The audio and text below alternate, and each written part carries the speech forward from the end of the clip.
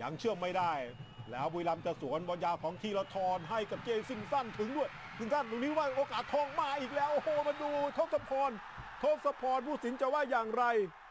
จุดโทษครับครัโอ้บโหทศพรสีเหลืองไปเสียท่าให้กับเจซิงสันเคารพที่สอง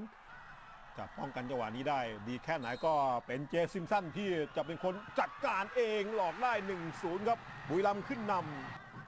ยิงไปทางซ้ายมือของตัวเองนะครับ เจอซิมสันและมุมดิกเลยครับ ไปคนละทางครับทศวรรณสีเรือง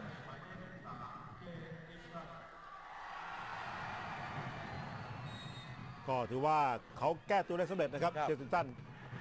จากโอกาสครั้งแรกตั้งแต่ต้นเกม ชมสดสูงสุดถึง 10 คู่ต่อสัปดาห์ ในราคาเพียง 50 บาท หรือติดตามทีมโปรดของคุณทั้งฤดูกาลชมสดทุกแมตชเพียง 590 บาทเท่านั้น